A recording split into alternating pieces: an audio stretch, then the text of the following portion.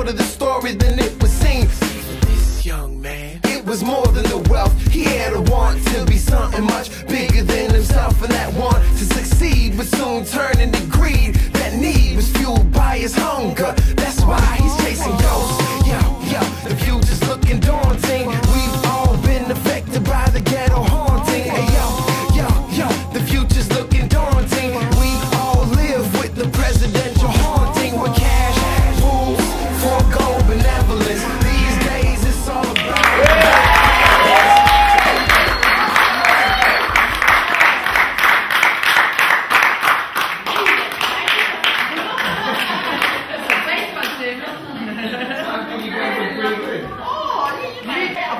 Working with Youth off the Streets since I came here. We brought Father Riley in. Yeah.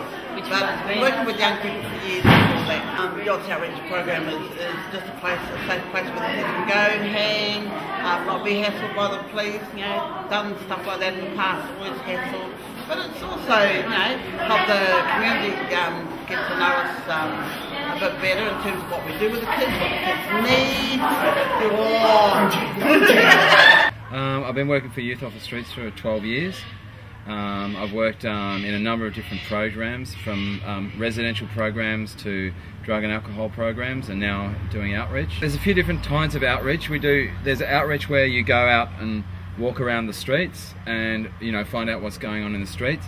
This type of outreach is where we um, run a barbecue um, and run sort of a sports evening where young people come, um, spend some time play some sports, have some food, that sort of thing. And it's um, it's sort of a it, one it, provides an activity for the young people to do, but it's also a, a place where the young people can come and they can access youth workers and bring up their problems. And because it's a weekly type event, it means that we can do it over and over again, and the young people start to get they get to know everybody. So yeah, there's an outreach. Um, there's an outreach out in Aids.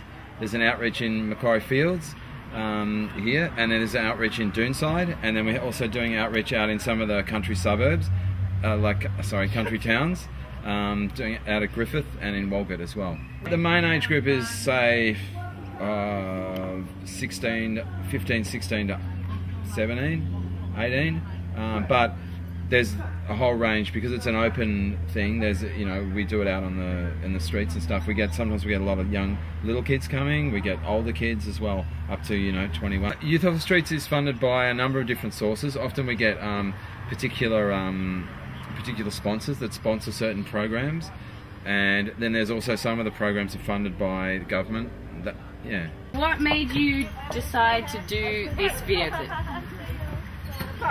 Um, well, I mean, if you listen to the song, like, it was important to me to have uh, something with more meaning behind the clip, not just to do a clip for the sake of doing something to have to play, but to actually have something that related to the subject matter, which is talking about greed and talking about uh, a cycle that a lot of people are born into of not having options, of trying to uh, not just make ends meet, but trying to gain some of the material goals that I think society implies everybody should be able to reach and achieve, but they don't necessarily have the means to. And so it's talking about some of the things that people do to do that. And uh, Youth Off the Streets um, is a charity that directly uh, helps kids to show them that they have other options besides having to pursue some of the things I talk about in the song. So. Cool. Yeah, uh, the Chasing Ghost film clip, that was a typical sort of um, outreach night um, with the young people coming out there, having a game of basketball, dancing to music, yeah, playing sport. And and why the outreach program? Like they run uh, food vans, they run a whole lot of drug and alcohol Yeah. clinics. Why did you go to the outreach program? Uh, because it was just more hands-on. I wanted something that was more tangible. To me, uh, where I'm from in California, I always saw the programs that were actually doing practical and tangible things in the community were the ones that had uh, an impact uh, on, on my friends, at least. And so uh, I wanted to contribute to something that was going to have a, a more practical uh, approach uh, to creating solutions for kids. Cool. Talking to the kids, do you have anything in common with any of them? Yeah, definitely. Uh, I think uh, not so much. I mean, probably not as much now because I think moving to Australia changed a lot of my perceptions on on um, uh, options and, and things that you can do. It expanded, I guess, my view on on things. But I think a lot of people like have blinders on. You're born and, and you don't see a lot of different options or things that you can do for yourself. And I, I think I would definitely uh, relate to that. And and more so, I see a lot of my uh, of my friends.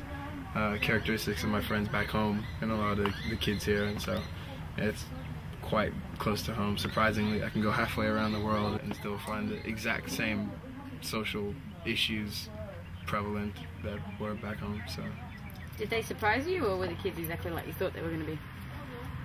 Uh, it surprised me. They're a bit more switched on. I think kids are still like a bit wiser than I even was. I think uh, kids are growing up faster these days, and so I was a bit surprised by how switched on and savvy some of them were. But yeah, Did any of them know who you were? no, absolutely not. Yeah, the kids have really liked the video, um, as you saw by the um, the response here. Um, yeah, it was just really something that's it's sort of um, I think it's sort of made the young people feel that they they do have a place, um, and in that you know they can go home and they see you know video hits and they see themselves on video hits and they see their hometown in video hits. So it's sort of yeah made them um, you know realise that they, they, they do have a, a place in society. Uh, now I think a lot of them have seen it on TV. They, they've seen the clip and um, they're uh, a bit more excited and, and telling their friends and, and stuff. So I think now I got my fan base in Macquarie Fields going on strong. And if people want to donate, what do they do? Um, they should go to um, youthoffthestreets.com.au and there's a website on there and yeah, details how to donate. Wait. I'll see you soon. You will. Yeah?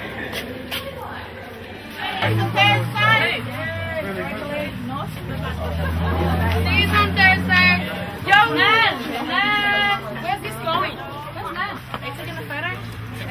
No.